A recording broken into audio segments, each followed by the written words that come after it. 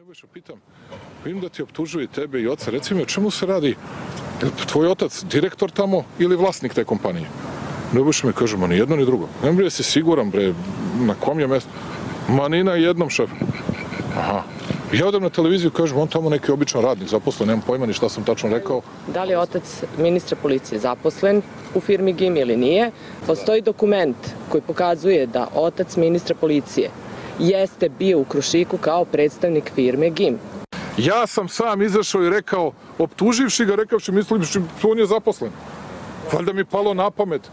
Pa zato što sam ga pitao da li je čovjek direktor ili je vlasnik. Ja kažem, pa on tamo obično radi zaposlen, ne znam ni sam šta sam rekao. Ovo je već šesti put da me prekidate. Ja nemam, imam beskrajno strpljenje. Evo i sedmi put. Imaću i osmi put ću da vas saslušam i osmi put ću da vas odgovorim. Vama to neće biti jasno, jer ne želite da vam bude jasno. Ja vam ponavljam, molim vas svim drugim ljudima da kažem. Dakle, ja sam rekao, to što čovjek nije direktor, nije vlasnik, kažem, on ne uzima profit. On od toga nema ništa. Ja kažem, verovatno je radnik tamo, pa ko zna, zaposleni neki, pa to mu interes. Ja sad čujem da on tamo nije ni zaposlen, po čemu onda problem? Čemu onda cijela priča? Kriv je što išao na sajam.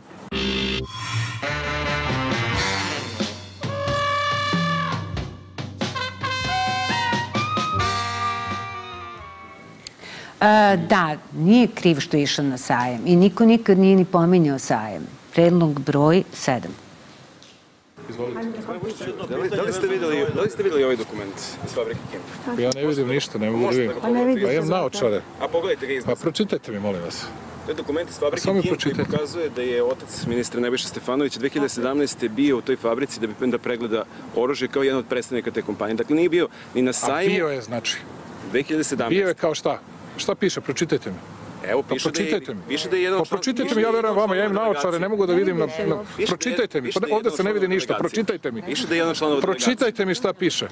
Pustite te trikove, pročitajte mi šta piše. Verujem ja vama, ne nisam vidio. Ja vas molim, pročitajte mi to.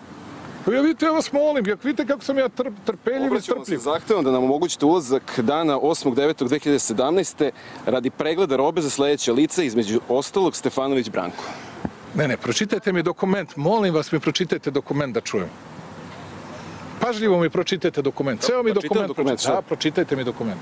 Poslovni, far, poslovni partneri, predstavnici filme e, Rinald Al Jazeera Rijad su sledeći. I u prilogu vam dostavljamo je i kopije Rijad?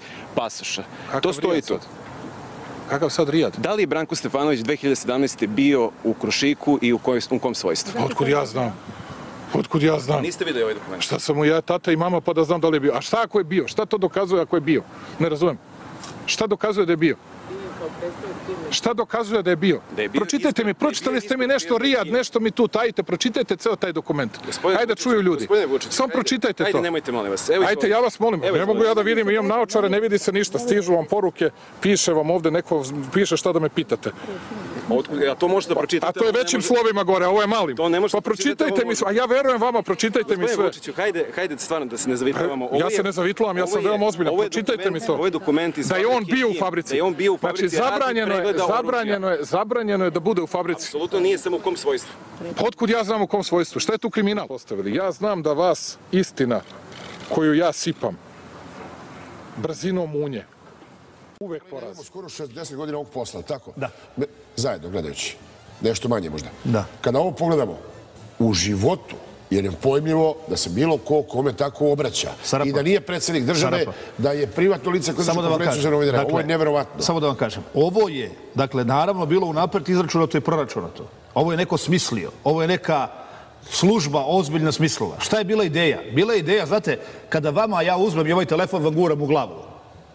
Ali bukvalno, to je, pogledajte snimak, molim vas. Vidjelo se, da. Ako ima režija, mogli bi da pustimo da vidimo taj snimak. To je, to, to je neverovatno. Dakle, to je na, na de- 10 cm od lica predsjednika Republike gurnut telefon.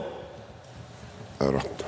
Šta je bila ideja? Ideja je bila da se izazove mahinalna, refleksna reakcija svakog čoveka, normalnog čoveka.